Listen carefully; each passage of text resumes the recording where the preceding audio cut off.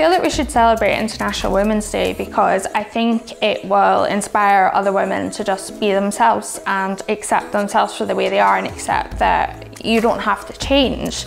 Women are powerful. Women are powerful. Who run the world, girls?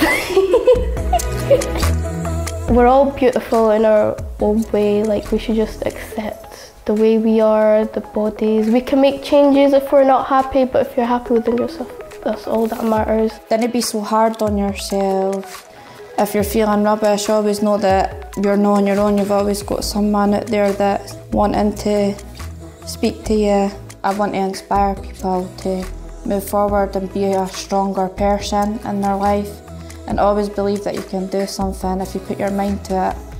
We should celebrate because we're women, you know, we're strong, independent women, and no matter what you're going through in life, just as long as you come out stronger at the end, and that's what makes us strong.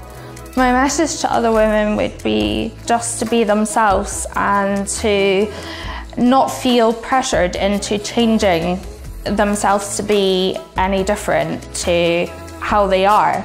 They shouldn't have to feel that, you know, you have to be a particular body shape, you have to be a particular way, you have to display particular emotions, that you are enough. Yeah.